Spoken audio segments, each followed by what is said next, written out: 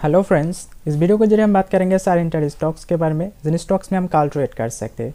अगर हम गुरुवार की बात करते हैं, यानी पच्चीस अगस्त की अगर हम बात करते हैं तो इन स्टॉक में हमें अच्छी प्रॉफिट देखने को मिल सकते हैं अगर आप इंटर ट्रेडिंग की बात करते हैं तो। वैसे तो यहाँ पर मार्केट ने पूरी तरफ़ से रिवर्सल ले चुकी है। आज यहाँ पर कन्फर्मेशन मिल चुका है। अगर हम निफ्टी की बात करें बैंक निफ्टी की बात करें, और ज़्यादातर स्टॉक जो है, वो यहाँ पर रिवर्सल का है। मतलब बुलिश पैटर्न या बुलिश कैंडल फॉर्म हुआ है। तो फ़िलहाल निफ्टी का लेवल्स में हम बाद में डिस्कस करेंगे। सबसे पहले हम चलिए स्टॉक को देख लेते हैं काल के लिए। उसके बाद हम निफ्टी का लेवल्स को देखेंगे। चलिए, अगर हम काल के लिए स्टॉक्स को देखते हैं तो पहला इंटर स्टॉक यहाँ पे हम निकाल कर आ रहे हैं हमारे पास सोलाफिन मतलब सोलह मंडलम फाइनेंस सोलाफिन का स्टॉक्स में अगर दिखा जाए तो देखिए, यहाँ पर बहुत ही अच्छी बुलिश पैटर्न हमें नज़र आ रहा है। आप यहाँ पर कह सकते हो ये काप एंड हैंडल कह सकते हो और या राउंडिंग बॉटम भी कह सकते हो। फ़िलहाल दोनों बहुत ही अच्छी बुलिश है। तो मतलब यहाँ से अटैम्प किया था ब्रेक नहीं कर पाया। फॉल हो गया, उसके बाद फिर से आके वही लेवल पे फिर से अटैम्प किया ब्रेक नहीं कर पाया। फिर फॉल हो गया और आज जाके वही लेवल के आसपास क्लोजिंग दिया। मतलब काप एंड हैंडल का पैटर्न फॉर्म किया है। तो कल अगर इस लेवल ब्रेक कर जाए, इसके ऊपर जाता है ब्रेक करने के बाद और इसे रिटेस्ट करते हैं या इसके ऊपर कुछ टाइम होल्ड कर जाता है तो बड़ी अच्छी मूवमेंट यहाँ पर हमें मिल सकते हैं बाइंग साइड के लिए। तो स्टॉक को हम बाई करेंगे। आठ सौ का लेवल में स्टॉक को बाई करेंगे। टारगेट होगा आठ सौ आठ सौ पाँच रुपया। दूसरा टारगेट आठ सौ सात रुपया। और सात सौ पचानबे का लेवल पे हम स्टॉप प्लस सेट करेंगे। तो देखिए, यहाँ पर काप एंड हैंडल या आप कह सकते हो राउंडिंग बॉटम तो यहाँ पर रिटेस्ट करना ज़रूरी है। रिटेस्ट के बाद ही आप इसे एंट्री ले लीजिएगा। बहुत ही अच्छी बुलिश मोमेंटम यहाँ पर मिल सकते हैं कल हमें। दूसरा इंटर स्टॉक्स की बात कर लेते हैं। तो कल के लिए हमारा दूसरा इंटर स्टॉक होगा नेस्टल इंडिया फ़िलहाल एक बहुत ही एक्सपेंसिव मतलब महँगा स्टॉक है, लेकिन इंटरडे के लिए कोई फ़र्क नहीं पड़ता है। चलिए यहाँ पर हमें फॉलिंग विस का पैटर्न देखने को मिल रहा है मतलब इन दोनों रेंज के बीच में ट्रेड कर रहे हैं। जो ऊपर का जो लेवल है, आप कह सकते हैं बहुत ही अच्छी कैसी रेजिस्टेंस लेवल है ये विस में तो ये रेजिस्टेंस लेवल अगर कल यहाँ पर ब्रेक कर जाता है, इसकी ऊपर जाता है तो स्टॉक में बड़ी अच्छी मूवमेंट मिल सकती है, क्योंकि फॉलिंग विस से। तो स्टॉक को हम बाई करेंगे। उन्नीस हज़ार सात सौ चार का लेवल पे स्टॉक को बाई करेंगे। टारगेट होगा उन्नीस हज़ार आठ सौ का लेवल दूसरा टारगेट उन्नीस हज़ार आठ सौ बीस का लेवल और इस टारगेट सॉरी स्टॉप लॉस हम रखेंगे उन्नीस हज़ार छः सौ का लेवल पे। ये होगा बाइंग साइड के लिए। लेकिन अगर मार्केट बियारिश रहता है तो स्टॉक यहाँ से अगर फॉल करना शुरू करे और इस नीचे के ट्रेंड लाइन को ब्रेक काट जाए तो स्टॉक्स में सेल बनेगा। One nine two five five का नीचे स्टॉक्स को सेल करेंगे। टारगेट होगा one nine one five five and one nine one four five होगा दूसरा target and one nine three five five पे हम स्टॉप लॉस सेट करेंगे। मतलब वन इस टू वन रेशियो के साथ हम यहाँ पर ट्रेडिंग करेंगे। तो नेस्टल हो गई हमारा दूसरा इंटर स्टॉक जिनमें हम कॉल ट्रेड करेंगे। तीसरा इंटर स्टॉक्स की बात कर लेते हैं। तो गुरुवार के लिए हमारा तीसरा इंटर स्टॉक होगा इंडोसैंड बैंक वैसे इंडोसैंड बैंक भी बहुत ही अच्छी, काफ़ी बुलिश यहाँ पर नज़र आ रहा है। वैसे तो जेफरिन की तरफ़ से जैसे यहाँ पर बाई का कॉल आया, उसके बाद से ये और तेज़ी से भाग रहा है। तो देखिए यहाँ पर भी आप कह सकते हो कि राउंडिंग बॉटम कह सकती हो।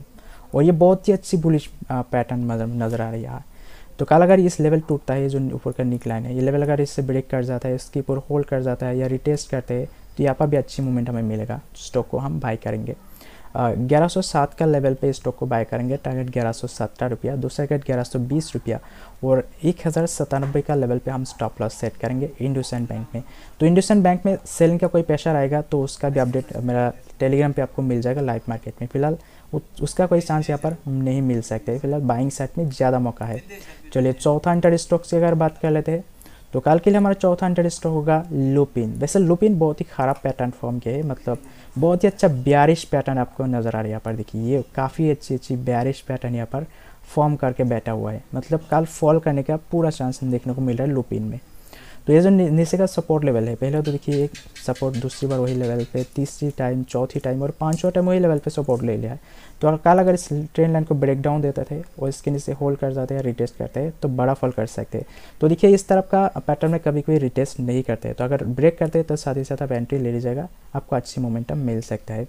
सिक्स सेवन फोर के नीचे स्टॉक्स में सेल बनेगा। पहला टिकट सिक्स सिक्स नाइन दूसरा target six six seven and six seven nine का लेवल पे हम स्टॉप लॉस सेट करेंगे। तो ये सारे स्टॉक को कल ज़रूर ट्रेड करिएगा। आपको अच्छी मोमेंटम मिल सकते हैं। चलिए स्टॉक हम ये देख लेते हैं कि कल का वीडियो में जो स्टॉक दिया था किस प्रकार परफॉर्मेंस यहाँ पर हमें दे चुकी है। चलिए, कल का वीडियो में मोबाइल से बनाया था तो इसलिए मोबाइल से मैं आपको ये दिखा रहा हूँ।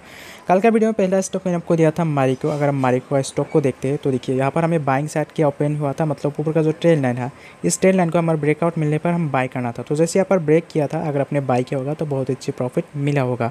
हमारा जो पहला टारगेट था यहाँ पर पाँच और पाँच दोनों टारगेट यहाँ पर हिट हो चुका था। मतलब मारिको में हमारा टारगेट मिल चुका था।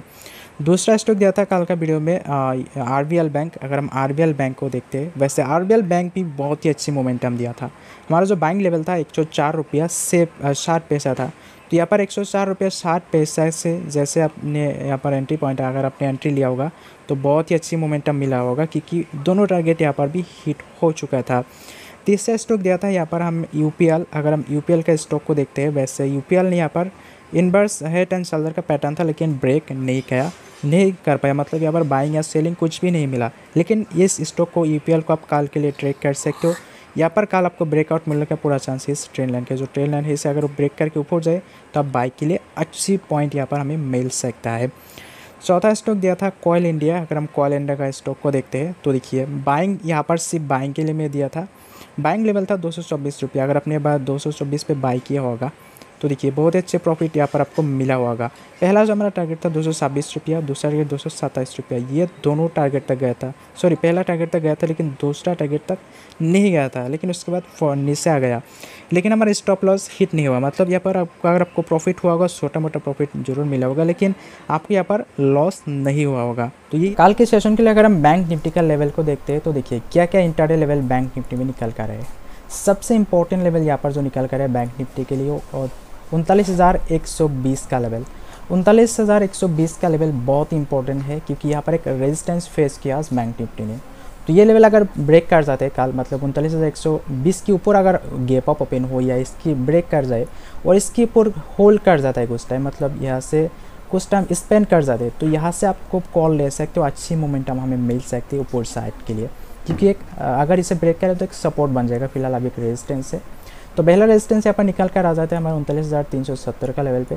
अगर ये लेवल टूट जाते हैं तो दूसरा रेजिस्टेंस निकल कर आते उनतालीस हज़ार छः सौ छः सात का लेवल पे। लेकिन अगर बैंक निफ्टी उनतालीस हज़ार छः सौ छः सात का लेवल को ब्रेक कर जाए तो आप यहाँ पर शार्प मोमेंटम मिल जाए। क्योंकि इसका इसका बहुत ही अच्छी हाई जो पिछला सप्ताह का हाई है, उस हाई को यहाँ पर ब्रेक कर जाएगा। तो बहुत ही शार्प मोमेंटम मिल सकते हैं तो फ़िलहाल बैंक निफ्टी ने यहाँ पर पूरी तरफ़ से रिवर्स से ले लिया है आज।